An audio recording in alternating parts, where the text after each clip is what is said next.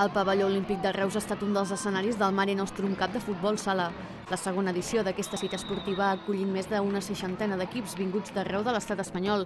Com a novetat d'enguany, la competició ha comptat també amb un equip escocès, amb la voluntat de que l'any vinent hi hagi més participació internacional amb clubs vinguts de França i Irlanda. Els jugadors del Club Futbol Sala Reus han estat un dels anfitrions dels partits a la capital del Baix Camp, on han jugat amb la categoria prebenjamí.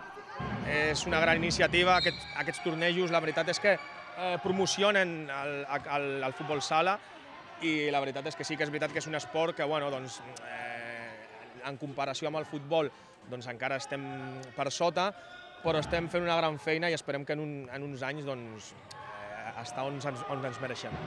El campionat també ha augmentat la participació amb equips de fora de Catalunya i, segons apunta el seu director, ja es considera el torneig més important de futbol sala base de tot l'estat espanyol.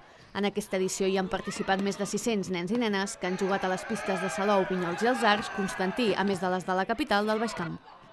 Eh, és un esport que està creixent i després en, en temes de demografia, de llocs on eh, hi ha pocs habitants o ha anat baixant a, a la població d'habitants, el futbol sala és un esport que és possible pel volum de nens que juguen, no? en canvi el futbol a partir de futbol 11 és més complicat.